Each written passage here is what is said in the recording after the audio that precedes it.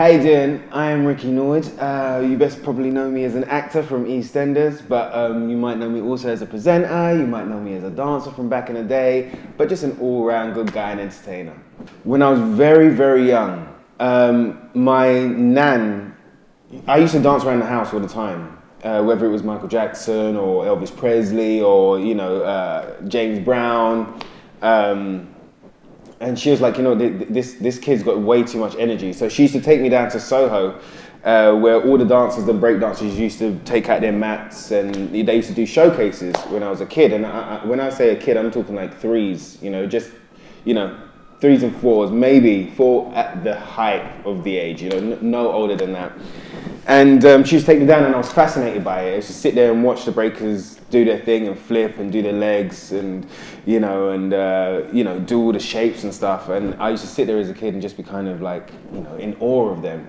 And then the dancers would see me there. I don't know. I don't know whether I got pointed at by my nan or not. I was because my eyes were here, but then they would see me there and they'd be like, "All right, come little man, come little man," and I'd be like, "Yeah," and you know I'd seen them spin on their head. So what I would do as a kid would like I'd put my head down on the mat and just run round my head but the crowd would go mad. Do you know what I mean? The crowd would go wild. So like I, that was my first kind of taste and dip into in, into performance and kind of and, and dance. You know, uh, so that, that, that was the first thing that kind of got me in at a really really young age. And then I just tried to kind of keep it going. It it simmered for a long while. My nan went into hospital. She came out. Um, she had like a bypass and stuff. So that meant no more trips to Soho.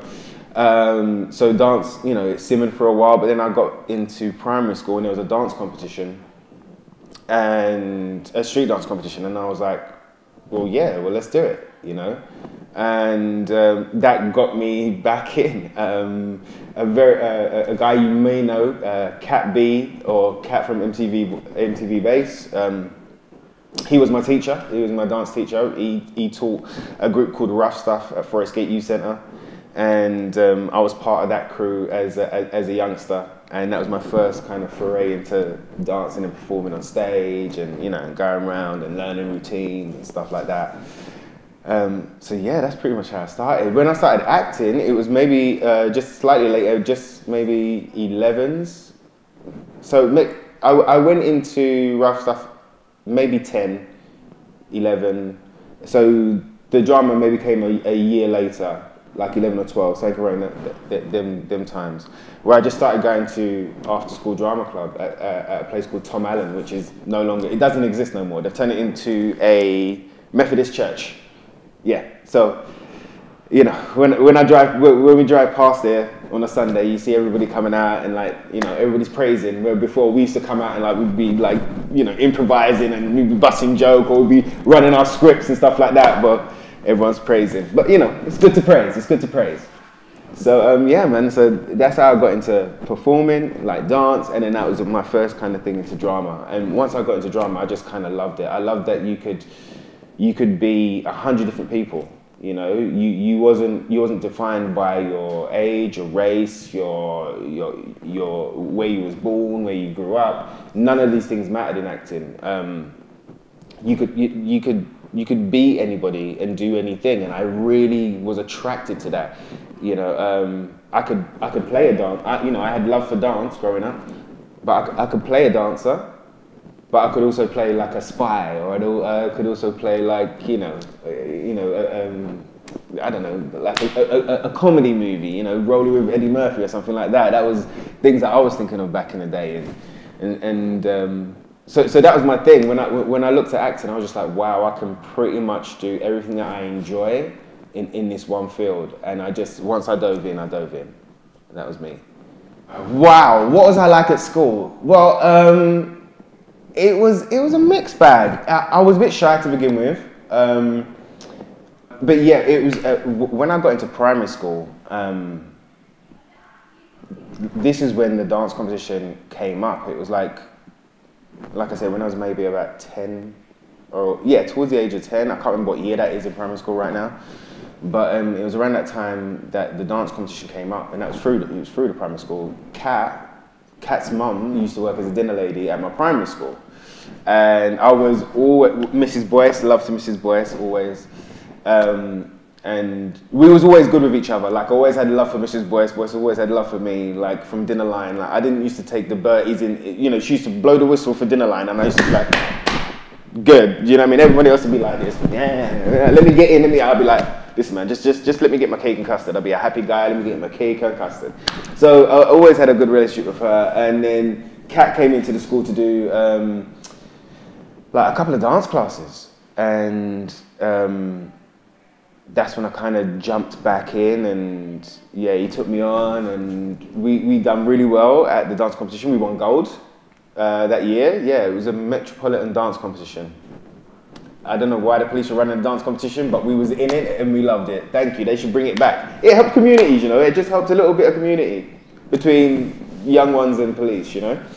Um, but yeah, it, it, was an amazing experience. And then after that, I started dancing with him um, at Forest Gate Youth Centre and that really kind of helped to bring out my personality. I was, I, I was more me in the dance circle and going to Forest Gate Youth Centre than I was in primary school, you know, first year of secondary school.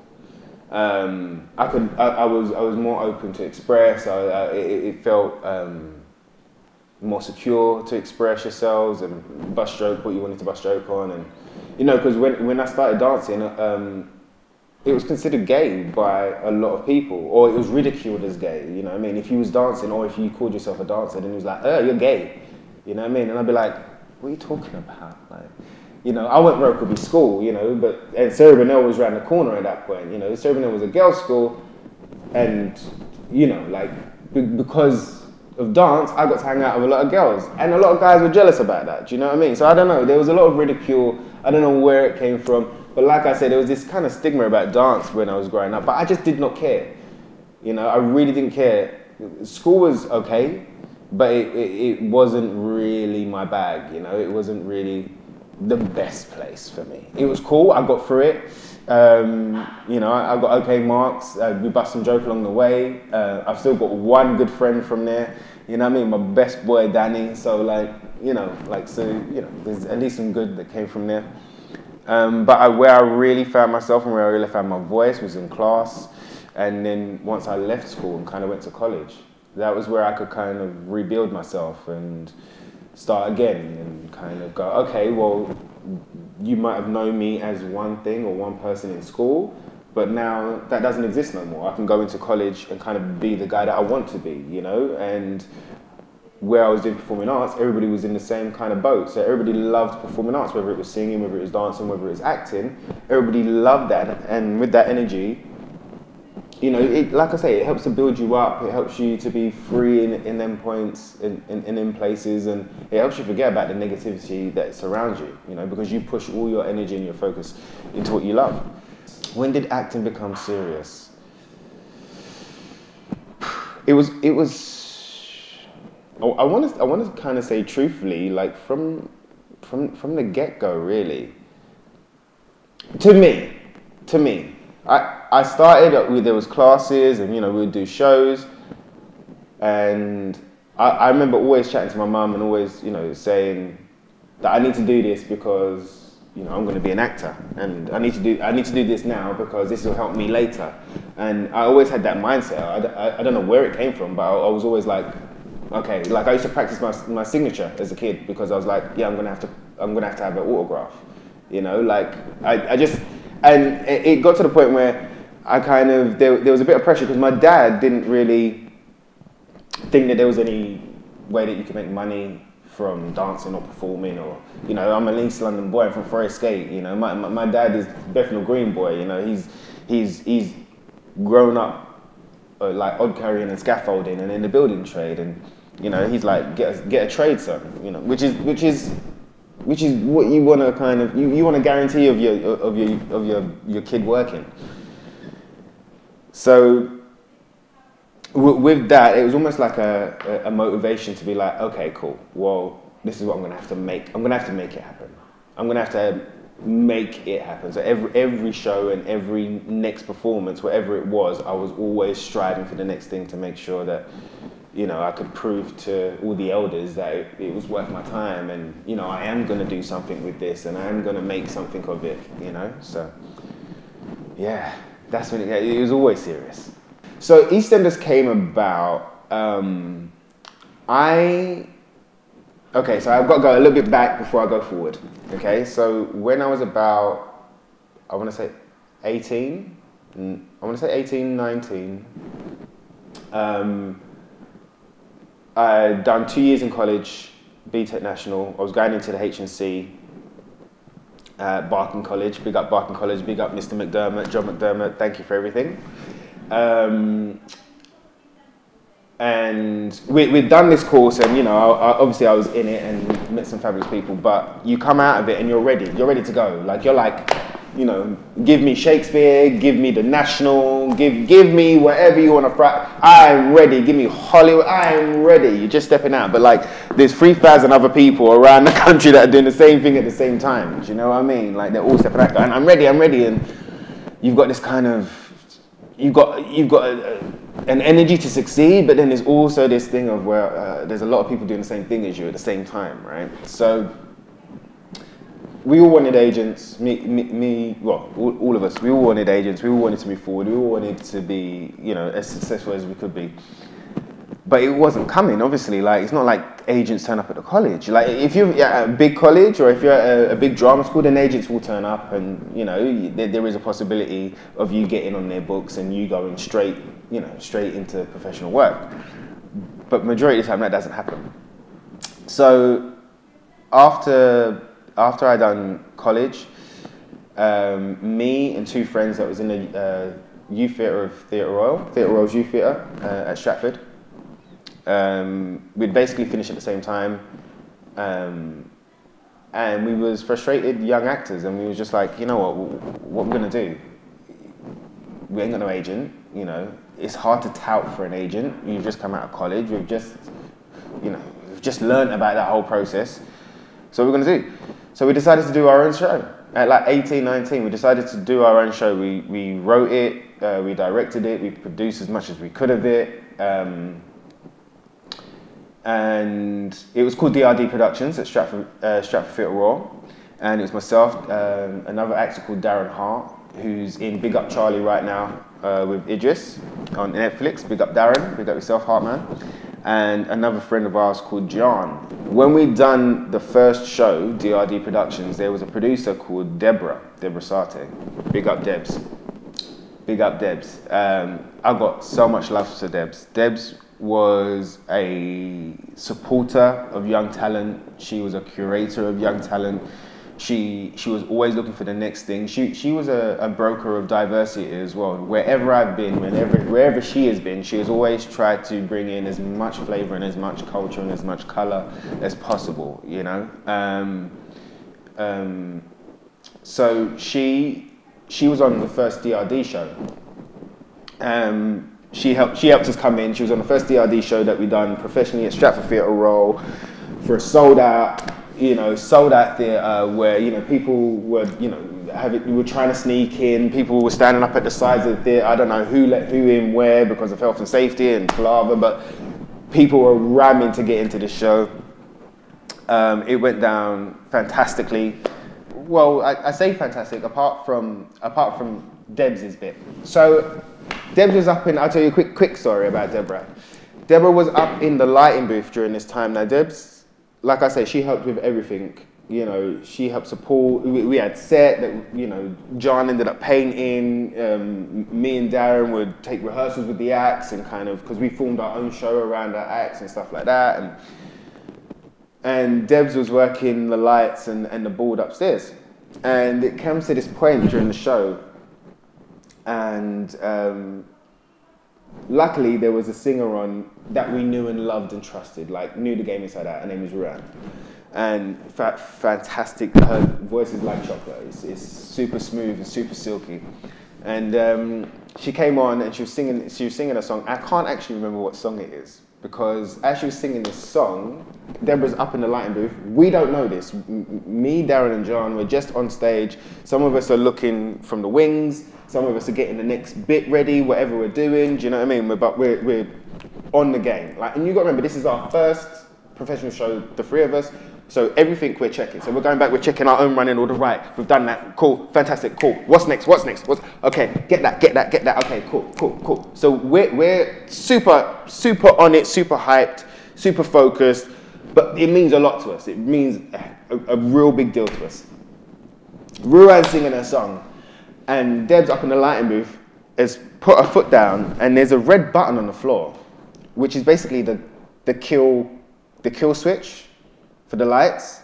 So she puts her foot on, on, she steps on the button by accident, kills all of the lights in the theatre dead.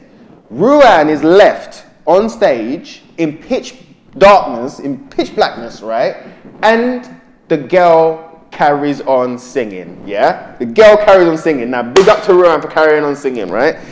So she carries on singing. Now, we're behind stage, we're like, what was that? What just happened? We're running back, we're going forth, we're running back, we're going forth, we don't know what's happening.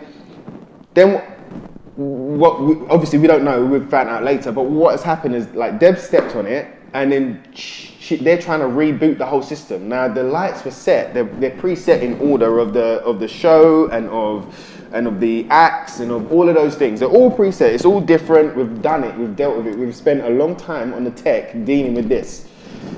She's killed it so now the lighting guy and her, they're trying to reboot. And when I tell you reboot lights, I'm talking about like the little dibby dibby kind of really bad kind of dimly lit uh, ceiling lights and stuff like that. They, they're booting them up, and then a little bit we get we're getting general cover up, and then little bit by little bit like we get a little bit of light up. Ruan, bless her, as the the, the, the lights came up, she carried on singing. She sang the whole song me and I remember me and Darren came out. We bust some joke about um, you know not paying the electric man or the electric meter. We need to put fifty pence in the electric meter. We bust joke with it. We rolled with it. We carried on the show. There was not one person that clocked that there was a mistake. Not one person in the audience clocked that it was a mistake. They all thought because of our show and the way that we done it, they all thought it was part of the show. And the premise of the show, I think, was like I don't know. I think it was like save our theatre or save the youth centre or save something. So they thought basically that the lights had cut in the youth centre because somebody had cut out the money. They made up their own story. They made up their own through line to get us back on track. Like they didn't even clock. So we're all stressing and we get back on and we're fine. We, we, we carry on and we move on. But at the end of the show, we're like, what the hell happened? What the hell happened? Nobody clocked. Not one person in the audience clocked. They was like, oh no, I thought it was part of the show. It was like, all right, cool, we got away with that one. But then when we saw Debs, we're like, Debs! what's going on? She's like, oh my god, I'm so sorry. I'm so sorry. I put my foot. I, I didn't know what to do. And then we had panicking. So we've got a good relationship with Debs. Um, I've got a good relationship with Debs. Me and the boys have got a good relationship with Debs. So I think it was like, after that, I think it was like five years later, something like that, that um, she, obviously she remembered me and she, she got in touch. Uh, she was developing this show called E20 um, for EastEnders. And it was an EastEnders spin-off for the online community, for the internet. And uh, she wanted me to come in and read for the part of Fat Boy. So I was like, okay, fine, cool, no problem. Um, I hadn't seen Debs in a little while, so I had a little face fuzz at the time. um, I had a little face fuzz, so I'm like, you know, I'm gonna keep this. I'm gonna keep this, you know, she's, you know, she ain't seen me in a while, you know, give her something different.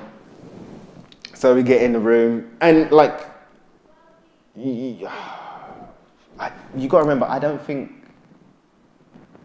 I'm trying to think just to make sure, but I don't think I got a script before I got there, and I done a script reading, the whole script. Yeah. So I didn't have a clue what the character was, what the breakdown was, what the script itself was. So I had no time to practice anything. I just I had to there might have been a premise, there might have been a breakdown of the character. There might have been, there had to have been, I don't know. I'm trying to think, think I can't remember that far. But from what I remember, I, I remember just kind of going in there and like going, okay, cool. I read the first couple of, I read the first page of Fat Boy and I was like, okay, I, I know who this guy is. Like, I know what you want, you know? And E20 was really, really special because they had, I want to say between 15 and 19 young writers from, from the ends, from the bits, from all different parts of London, um, some slightly from outside London, but they brought all these people in to write a young people show um, for the internet. So they didn't they didn't rely on EastEnders uh, writers. They or want EastEnders regular writers. They wanted a new flavour. Their idea was we want to see what um, these young people of the square, what they're seeing, what their eyeline is seeing. You know, what their perspective of the square is.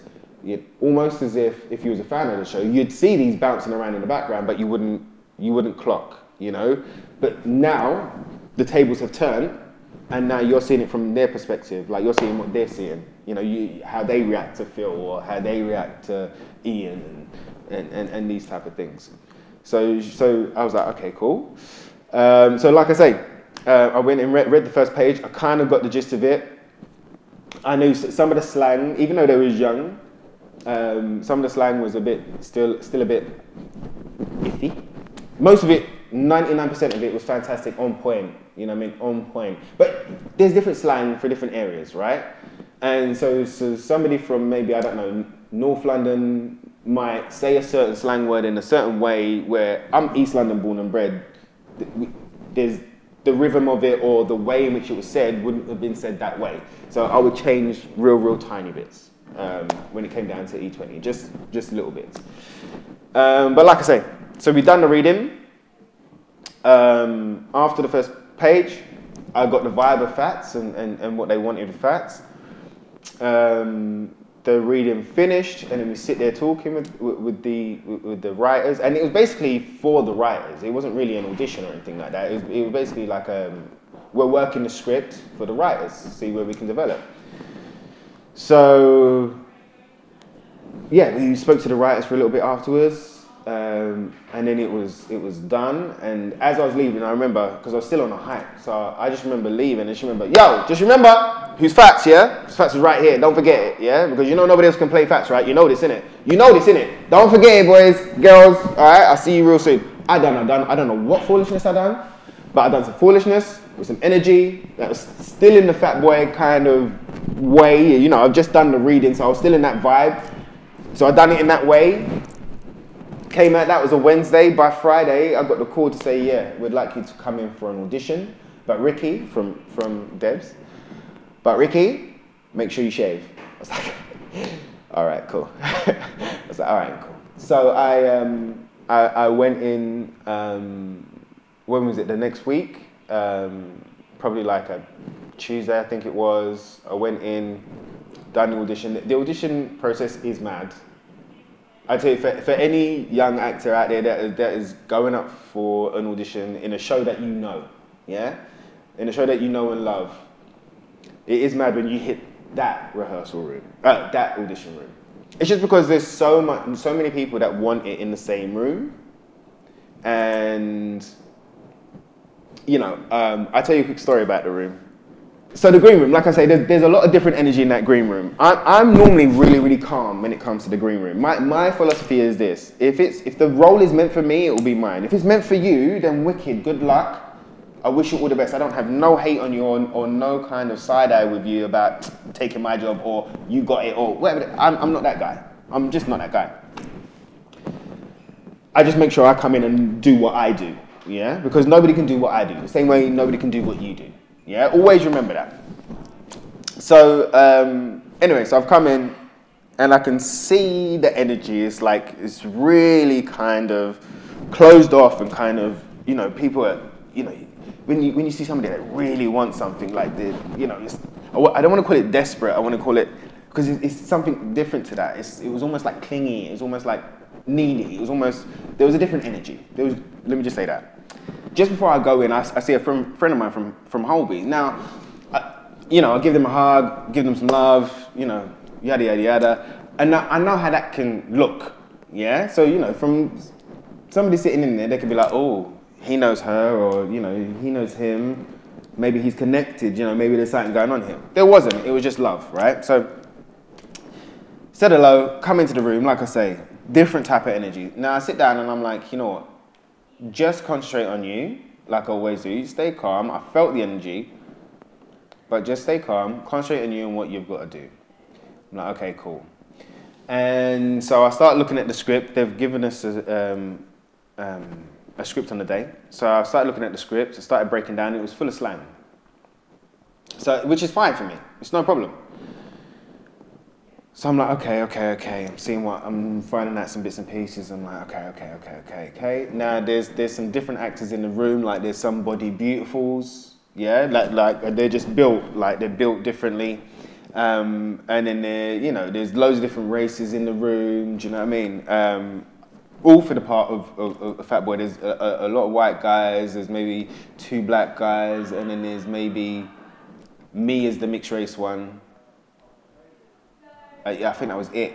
Um, and then there was a couple of others for other roles and stuff like that. But so anyway, so um, I'm there and I start reading my scripts and I'm going through it and I'm like, okay, cool, cool, cool, cool, cool, cool, cool, cool, cool. And then this one boy in the corner um, kind of goes, you know, sorry, sorry, I'm, I'm sorry, I'm sorry. Can I, can I just ask a question?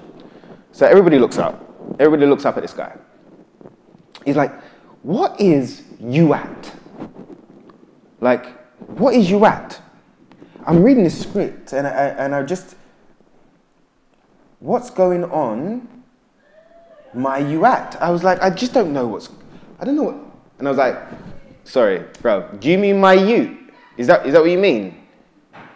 It was like, oh, uh, well, yeah, maybe. It's like, yeah, because my, my you, as in, it's like my youth, as in my younger, as in like the young one, like that's what he's referring to in, in that point. Oh, oh, okay.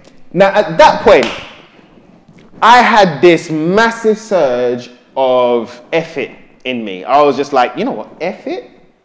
I'm going to take this role. I'm going to take it. I'm going to own it. I'm taking it home. Because if I can sit here in a room where one man's asking what you at is, yeah, and I don't get this, then there's something wrong. I might have to hang up the gloves or something. You know what I mean? There is something wrong. So it just gave me, I mean, I gave, I, it, it confused me because I thought whoever's coming in for this role would have some type of street knowledge, yeah? So for him to be like, what's my you at? I was like, I, it just, it was, it, it just kind of, I don't know what it was in me, but it just, whoop, all this confidence came in me and I was like, well, nobody's going to know this script like me. Like, no, I looked, I looked around in the room. I was like, nobody's gonna know this script like me. So I went in and I just, when I, when I, when they called me in, I went in and, and I tore it down. When I tell you I tore it down, I tore it down. I knew half of it off book. Everybody else is reading. I knew half of it off. Sometimes I was improvising and just going off and kind of carrying on with my slang because I knew the energy of the character. So done really, really well in, in, in that audition. They took me back into room. They even brought me in to read for Leon as well. So it's like, yeah, Ricky, can you come in as well and just read for Leon? I was like, yeah, okay, cool. So I just totally flipped it, totally switched it. I didn't know what Leon was about at that point. I was like, because I was just so focused on what Fats was, this is what you've asked me to do, cool.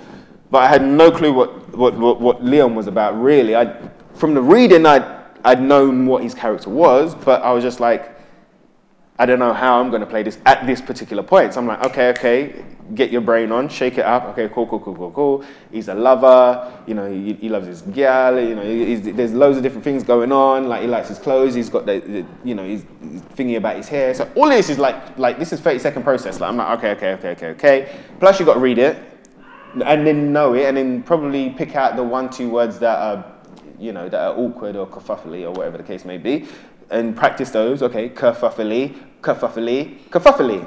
Okay, good. We're good. We got that in. And then I had to go back in, read for Leon with the guy that played Leon originally. So, um, yeah, with the guy that played Leon originally, man. Um, Sam Attwater. Uh, it, it, it was quite funny actually, because he, he'd been playing he'd been playing Leon uh, for I think maybe two groups. Uh, they was doing it in rounds. They was taking us in in four. They done it individually, and then they took us in in groups of four because the, the E20 was a group of four. So we, we, went in, and he was playing Leon in the first read. Mercy was playing Mercy, and I don't think we had. Oh, I can't remember whether Zsa Zsa was there or not at the time. But but basically, there was four of us reading. him. Like I said, they've called, called me back in to read for Leon. So the guy that's playing Sam, who's playing playing Leon, would kind of like looked as I walked into the room. It was kind of like, uh, and he told me later. He was like, "Bro, I didn't know what was going to happen. I didn't know what was going to happen because I thought I had that until you walked in, and they called you back in, and I was like, what's happening here? What's happening here?" you know. Um, fun times, fun times. Uh, and then I think it was like two, three days later, got the call, we got the job. And E20 was like a fantastic experience because unlike EastEnders where you've got um, you know loads of different writers and loads of different directors on any one day or you know uh, you're shifting weeks and you're shifting times E20 we done it in order and we done it with the same director for two weeks and the same camera team for two weeks. So we got to it was almost like theatre. We got to really understand each other really you know um, know how we all work together. Um, they allowed me to improvise. They trusted me as well. Deb's, De- Deborah obviously knew me from before and had trust in me, but none of the these rest, none, none of the rest of the people did. Like so, the, the, the director that was working on the day, he didn't know what I was really about, you know, or what I was going to bring, or whether I was going to go too much with slang, or whether I was going to be offensive with slang. Now, the one thing that I wasn't going to do was do that. You know, I wasn't going to put myself in a bad position or put the people that I'm representing in a bad light. You know what I mean? I didn't want to do none of that. I knew growing up watching EastEnders what the audience is, what the audience expects, because my mum is a big part of that, and I grew up watching it, like I say. Um, so I knew that Fats couldn't have anything that was too current slang wise. So if it was within the year, two years, even up to three years. If it was three years new slang, I wouldn't use it just because there would be no reference to it outside of London. Stuff like Wagwan is like almost universal. You can go to Birmingham, they say like Wagwan, like, you know what I mean? You know. So there's certain things, and, and uh, there's certain words that if you didn't know that I introduced, then I always got the other character to explain it.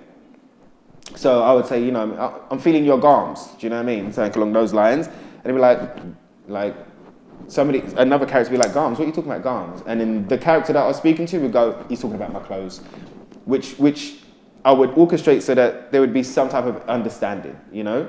And to show as well that slang ain't so mystic, it's not so cryptic. It's, if, if you take some time, then you can understand it, you can be a part of it.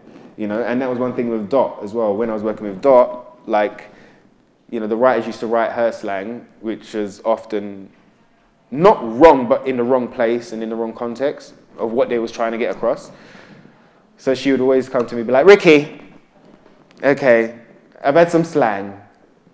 Could you have a look at it for me, darling? And I'd be like, yeah, of course, Mrs. B, let's go. Like, you know what I mean? Because, you know, her name is June Brown, so she is Mrs. B anyway. So Mrs. B on set, Mrs. B outside of set.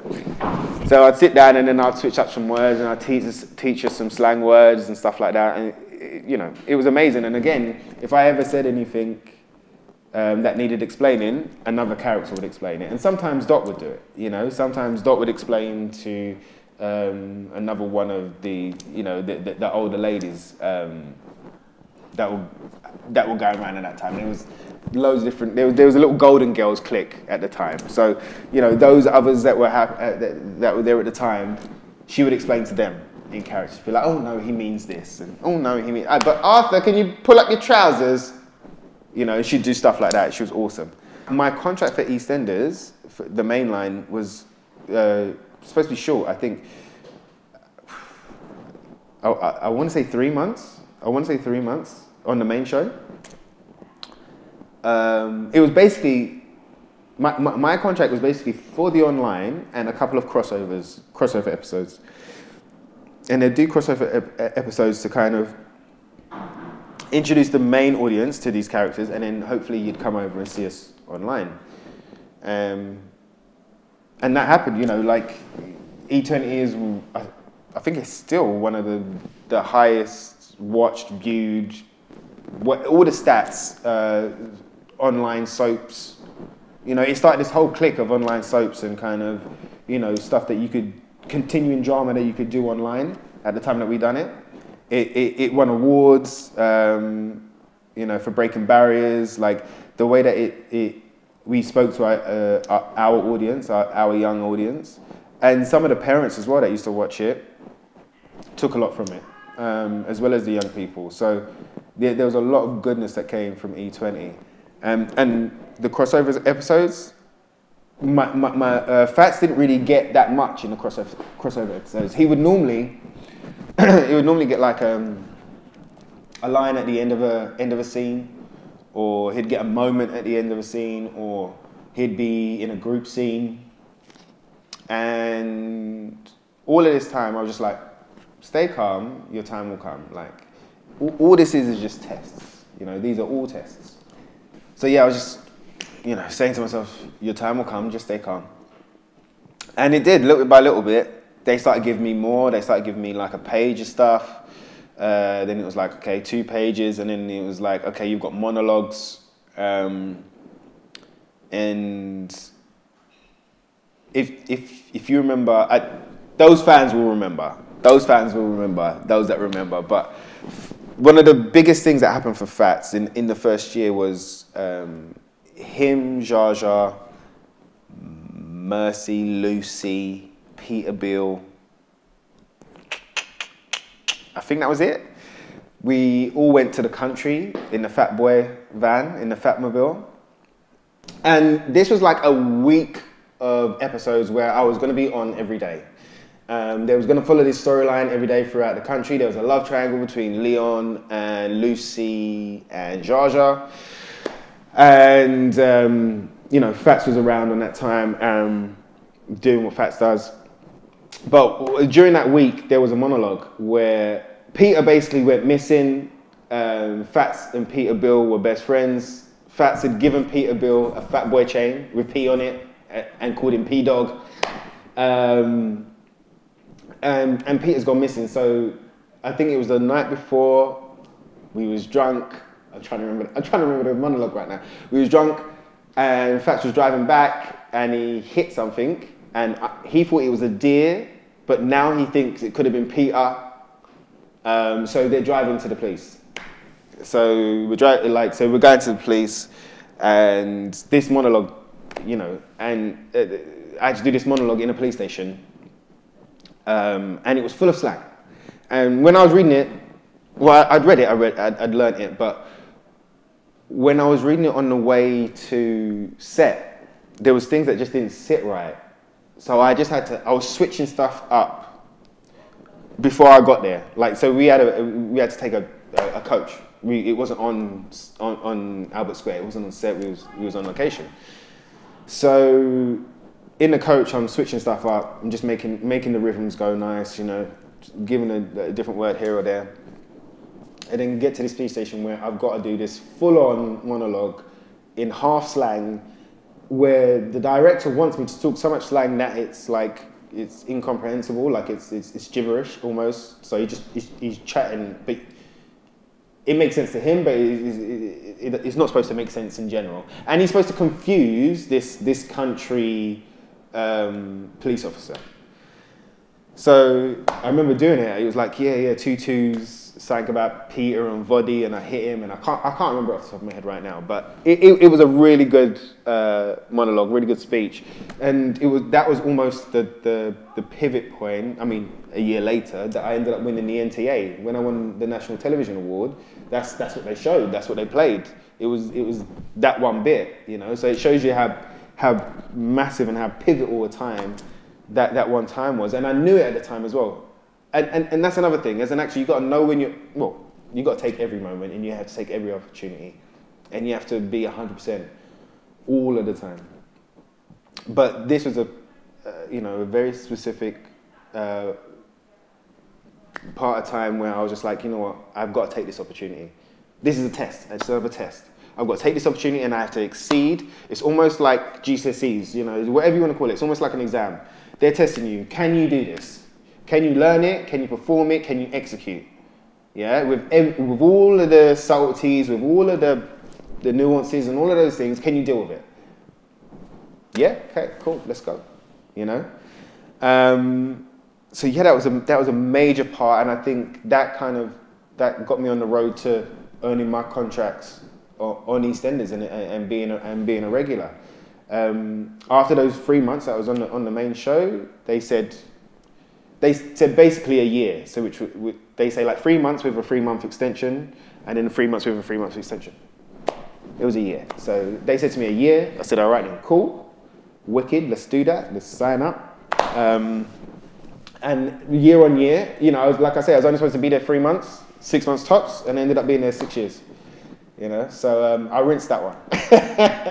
I rinsed that one. Yeah, man. I you know made sure I went to work. Um, how much input did I have on shaping Fat Boy's character? Well, I would say I would say a lot.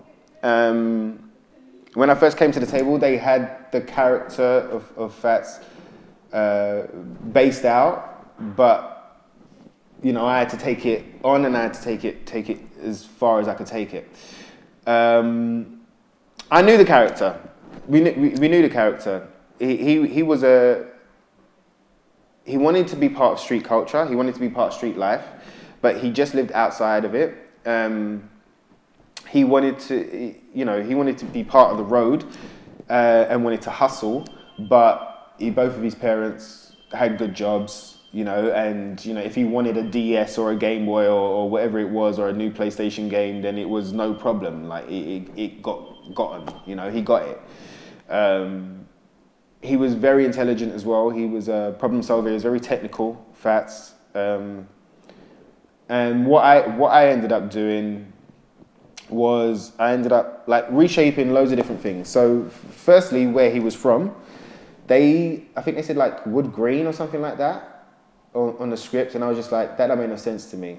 Now it's funny because you know Forest Gate is where I'm born and bred. Yeah, so Forest Gate is almost like the, the, the you know Forest Gate is is mixed. It's got a bit of rough and a bit of smooth. But right next door to Forest Gate is Wanstead, which is super slick. It, Wanstead Flats is like, you know, um, it's not like a tower block of flats. What they mean by flats is like flat ground. Like they've got grass, they've got fields, they've got forest, you know, and then they've got some really lovely, expensive houses in Wanstead, and a lot of, you know, really um, like uh, high-profile professionals li- live there. You know, you've got doctors, you've got lawyers, you've got business people living in Wanstead, and I just felt that Wanstead was more appropriate, you know. Um, in my head, I was like, well, this boy's from Wanstead and he's going to school in Forest Gate, you know. That was my head. That's how I tried to switch it up. So he was always like, he was a lover of the culture, but at the beginning, it was almost like he wanted to be a part of it. He wasn't a part of it, he wanted to be a part of it. And there are those characters, there are those people out there that are just attracted to something uh, and, you know, start embracing whatever that culture is. Sometimes it's like Chinese culture, you know, everyone, you know, you come in your, your, your Chinese silk top and you're reading manga and, you know, you start like drawing in Chinese characters. You know, people do it. You, the houses are full of it, it doesn't matter. Um, but I just knew, I, I just thought that Wanstead would be, it's still East London, it's close to everything that, um, that, that we're asking of this character. So I switched that up. Also the kind of origin of where Fat Boy got his name from. So I, straight away, I remember when they, when they asked me about the character, when I, when I got the job, um, I had to have a, uh, an interview in EastEnders with the big boss. And I remember them saying to me at the end, "Do- do you mind if we, like, what do you think about the, the, the name Fat Boy? Like, what do you think about it? Like, do you mind that we call you Fats? Do you mind that we call you Fat Boy? And me, truthfully, I didn't care. I didn't care. Listen, I'm just like, everything inside of me, truth speaking, everything inside of me was just like, just give me the job. Just give me the job. Call me whatever you want. Just give me the job. Just give me the contract. Give me the job. Just give me the job. Just give me the job. I don't want to. Just, just, just, just give me the pen. Give me the job. Just give me the job. Don't care what you call me. Give me the job. And that's how I felt. I was like, just give me the job and I'll deal with it. Do you know what I mean? I'll deal with it.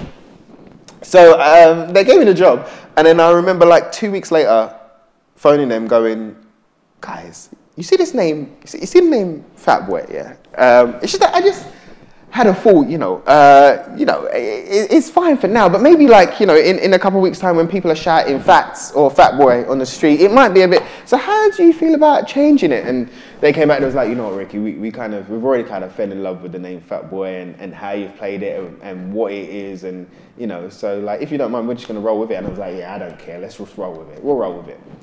Just means I've got to go to gym in it. Just means, just means I've got, you know, just got to make sure I look after myself. All right, cool. So we rolled with it. Was there any storylines that I wasn't happy with? Uh, yes and no. You, you can't really be unhappy with storylines in EastEnders. You know, it's almost like you get you, you get given what you get given, and it's up to you to kind of make the best of it. Um, storylines is different, you know. So sometimes there's certain storylines that I think don't fit, but then you have to kind of take on board what they're saying, which is this is what we're giving you. Like this is this is what your storyline is. So let's try and work it. Let's try and shape it so that it does fit, or we can put in a reason that it did happen or that did go that way. You know, uh, one, of, one of my biggest things were like, why doesn't anybody move like learn the lesson? But it's hard to ask that question in EastEnders because a lot of people will repeat their mistakes, and that's where the drama is, right? So, for instance, Max were, was a serial cheater, right? So, if he ever learned his lesson, we wouldn't get that, oh, Max, do you know what I mean? So, I totally understand that. So, um, when they used to come to me, when they did used to come to me with storylines, well, firstly, majority of the time they don't they just give you the script. Okay, you look at the script, go, okay, okay, okay, here's what I can change, here's what I can fix, okay, okay, okay, that makes sense for my character, and you go on. Um, but when stuff did come in, um, you know, you, you and speak to them, you and speak to the office, and you try and just adapt it so that it makes sense some way, shape, or form to you, for you. Sometimes when you've been in there, for a long time as well, those reasons really matter because you've become attached. You've, you've put bricks in place, you know, Th these are the foundations of Fats. Now, some, a scene or a script will come in that kind of totally disregards all those pillars that we've just built. So it's like, well, what happens now? Why are they disregarded? I need to know that. I need to know that, you know. Um, so those, I only ever, ever, ever, ever went up to the office very, very rarely very rarely. I remember at the beginning it was mostly about language because they wanted me to go up to the office if I changed slang. But then it became so stupid. I was changing it every day. I was changing it through four different scripts. You want to sit here with a, a writer and kind of go through all the script changes that I've made so that you can what rewrite it. I, I didn't know what was going on. So I just made sure that wherever I put my stuff, like I'd done it in a place where it wouldn't affect nobody beginning and end, beginning and ends of lines, I would keep clean. Yeah, I, I, might swap the words around just for a different rhythm at the beginning of the line, but beginning of the line and end of the line, I'd keep the same, and in the middle, I'd do what I, you know, I'd add a little bit here or there, and you know I mean, and uh, yeah, just keep it moving. Don't let negativity drag you down. Don't. Sometimes people will jab you to get a, provoke you to get a reaction because they want you to go to that place. You know, sometimes I walk too many times with a smile on my face. Sometimes I'm too happy. You know, sometimes, you know, I give too much love. So they're like, who's this guy? Like, well, what's he happy about? All right, cool. Well, let's let's shake it up a little bit. You know, some people don't like it, but don't be defined or swayed by what other people's agendas are. Take that breath. Take that breath and, and stay on your journey.